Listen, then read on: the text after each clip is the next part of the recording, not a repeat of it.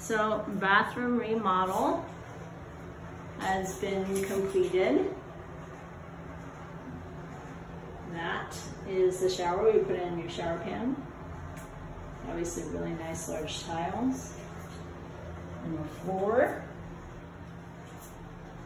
with obviously a curtain rod. And uh, a new vanity. And I put in that beadboard on the side because the vanity was not as big as the space. So we made it look like it's supposed to be that way. New baseboard, new door trim.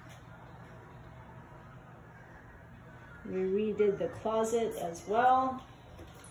Uh, this started off with this huge leak and um, the water in the closet was soaking the rug. So we got rid of the rug and all the walls have been painted now.